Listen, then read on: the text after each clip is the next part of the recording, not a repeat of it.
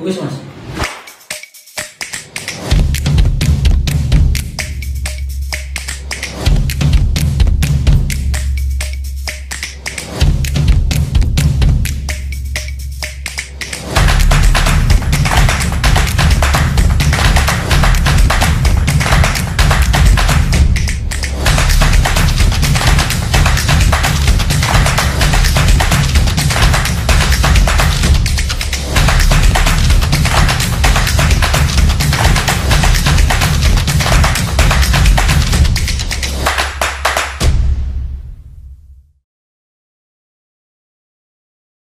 Eh, pertama kali melihat The Raymond. Sebenarnya akhirnya saya membaca kayak kecenderungan yang lain di artis yang lain. Jadi sebenarnya kalau dibilang keistimewaan saya pikir nggak ada yang eh, istimewa secara spesifik. Cuma eh, yang saya lihat adalah peluang gitu. Soal keberanian bagaimana dia eh, berani menggunakan dirinya untuk menjadi objek eh, atau subjek untuk merefleksikan apa yang dia lihat dan apa yang dia dapatkan dari pandangan dia soal peristiwa keseharian eh, gitu jadi apa ya tak kalau tak lihat sebenarnya praktek eh, bikin karya-karya komikal dengan eh, bentuk-bentuk karakter sudah banyak yang bisa dibilang itu adalah alter ego dari artisnya gitu. yang menurut saya cukup menarik dari Doraemon adalah dia tidak berasal dari kampus seni. Itu yang melatar belakang saya untuk akhirnya eh, ngompor-ngompori dia untuk ayo kita harus bikin project pameran secara fisik gitu. Kalau capean di media sosial gitu kan udah udah cukup sering gitu dan tak pikir kalau media sosial kan dia punya dunianya sendiri itu. nggak ada unsur apa, nggak ada unsur sentuh dan rasanya juga berkurang berbeda dengan pameran secara fisik walaupun mungkin di era sekarang pameran secara fisik itu sudah diambang eh, antara penting dan nggak penting. Sebenarnya eh, pameran fisik saya kira akan memberikan eh, pengalaman pengalaman yang lebih bisa apa ya membawa senimannya mengenali lingkungannya kultur terdekat dari dirinya bahkan eh, mengenali dia secara secara lebih dalam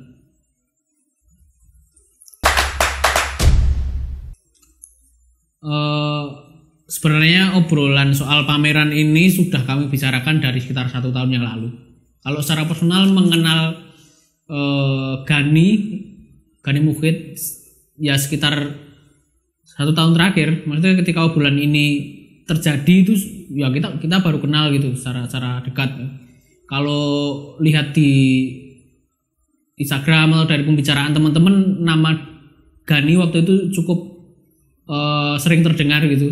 Dan kebetulan kami entah disengaja atau tidak saling mengamati satu sama lain gitu. ternyata saya masuk radarnya Gani Gani masuk radarnya saya juga. Dan di satu waktu setahun yang lalu kita ketemu kita ngobrol gitu. Walaupun akhirnya uh, pameran ini terrealisasi setahun setelah perkenalan kami. Uh, saya pikir ini anu ya jadi kayak pijakannya Gani uh, atau Doraemon untuk melakukan hal yang lebih dari sekedar upload di media gitu. Kalau upload di media tafsirnya akan macam-macam gitu. Tapi kalau di uh, secara secara langsung gitu pameran secara fisik dia bisa ketemu audiensnya secara live, dia uh, tahu ekspresi bagaimana orang melihat karyanya, terus orang bisa bertanya langsung, bisa berdebat, bisa berdiskusi, bisa membuka hal-hal yang itu tidak akan pernah terbuka di media. Saya pikir kayak gitu. Uh, pameran ini saya pikir uh, cukup uh, mengejutkan karena dari beberapa pameran yang kita bikin uh, dan kebanyakan dari teman-teman mahasiswa seni dan kultur kampus gitu. Nah, ini pameran yang saya pikir cukup ramai gitu, yang lebih dari rata-rata pameran sebelumnya. Uh, saya mengamati arus pengunjung, penonton atau apresiator itu uh, cukup padat itu. Dan Gani hadir di sini hadir karyanya dan orangnya. Bagaimana dia akhirnya e, bisa bertanggung jawab secara penuh gitu. Dan saya pikir orang ketika datang ke sini dia sedang tidak melihat Doraemon tapi dia sedang mencari dirinya yang terefleksi lewat Doraemon. Jadi sebenarnya kalau uh, saya boleh bilang Doraemon itu jadi kayak refleksi. Jadi orang lain yang menemukan dirinya di diri Doraemon atau yang Doraemon uh, lihat atas dirinya pada diri orang lain. Nah sebenarnya pameran ini tujuannya untuk itu sih bangun hubungan ulang alik atau timbal balik di antara pengunjung dan artisnya. Kalau biasanya pameran pengunjung dan artis terpisah, nah di sini emang kita sengaja menghadirkan pameran dengan format yang sederhana di sebuah rumah kontrakan dengan uh, ruang kecil gitu kita display secara full. Jadi emang apa ya cenderung padat dan sebenarnya kayak Kemon Remon ini tak pikir juga merefleksikan bagaimana Gani mencoba menarik dirinya uh, ke wilayah yang lebih luas uh, dan juga menarik orang lain untuk membaca apa sih yang kita lakukan hari ini dan kita udah ngapain aja dan pameran ini jadi refleksi sih.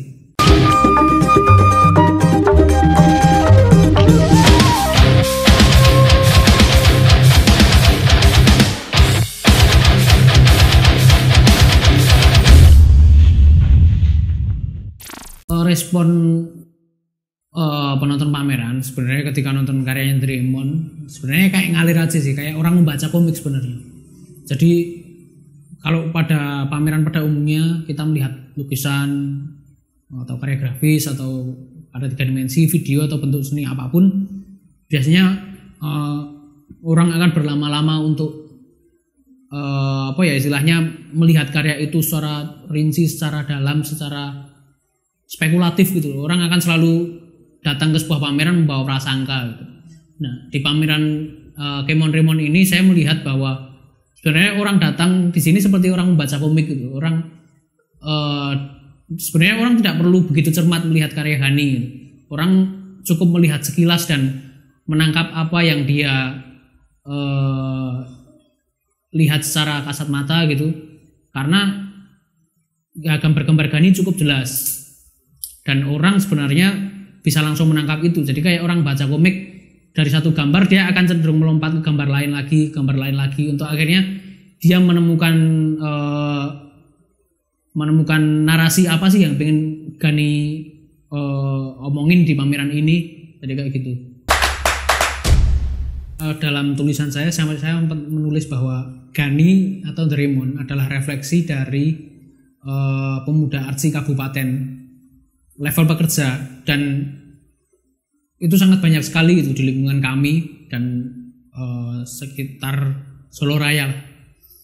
Jadi bagaimana teman-teman melakukan pekerjaan-pekerjaan freelance secara uh, ya harian gitu dengan waktu yang sangat random dan ada yang juga yang bekerja secara full time.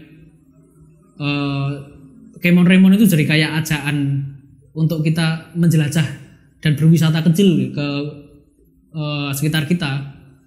Makanya di sini kan banyak banget gambar kayak Gani menggunakan pengalaman kolektif soal ruang-ruang yang ada di sekitar kita. Ada pasar gede, terus ada Jalan Selamat Riyadi, ada kapalan isi, sesuatu yang sebenarnya sangat uh, monumental di sekitar kita yang sebenarnya itu jadi tempat wisata paling dekat sebelum kita menjelajah ke tempat yang asing. Bagaimana ruang-ruang keseharian itu bisa menjadi uh, charge energi yang sangat besar gitu.